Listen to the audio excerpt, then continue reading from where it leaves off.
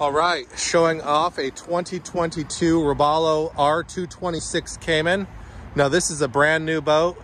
This boat uh, was a custom order last April, so uh, it is February now, so close to 10 months. So if you get, get into this boat, you'll be 10 months ahead of the game.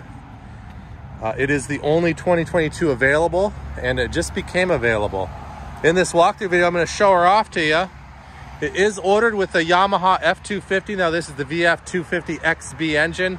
Of course, it's not on the boat. Um, hard to get engines right now. It could be a couple weeks to a couple months. There is no ETA on engines. They're waiting to unload them. We are coupled up with a Robalo uh, Coyote trailer. Now this is aluminum, uh, uh, two axles, brakes, LED lights, and uh, two-speed winch. Nice setup here. Coyote makes the trailers for Robalo.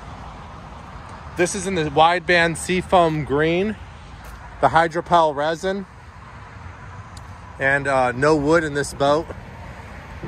That's all brand new for 2022. Six inch Atlas jack plate, boarding ladder, non-skid throughout the vessel, wide gunnels. I can walk this boat.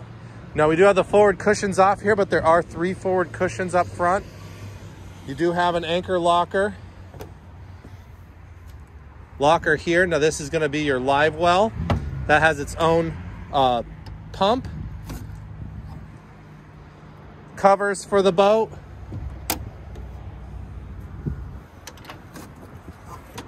Additional cover. Removable back seating. Uh, this is all silicone interior head area. This is where you're gonna keep all the, the forward cushions along with porta potty. Underside gel coat to match on the T-top, powder coating.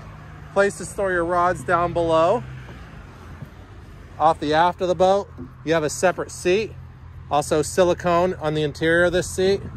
Down below, place to store your wet knots, Coast Guard kit. Two very large live wells. Now these can be insulated coolers if you like. Another place for a live well.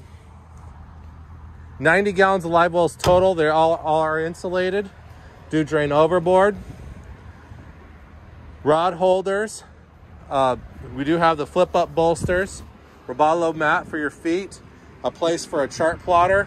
You can have from a 5, 7, 9, 10, 12 inch chart plotter. You name it. You can get uh, Simrad, Raymarine, or our favorite is Garmin. Place up top if you want for a VHF.